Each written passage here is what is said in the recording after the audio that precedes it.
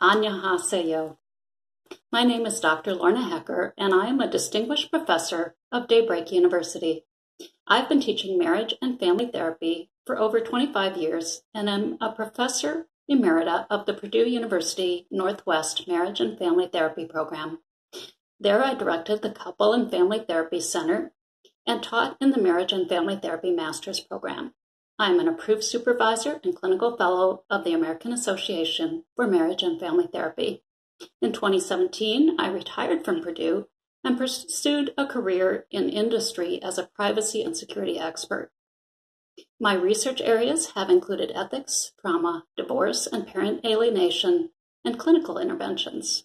I have authored or edited nine books, including an introduction to marriage and family therapy with Dr. Joseph Wetchler. I am looking forward to working with each of you, and I welcome you to Daybreak University.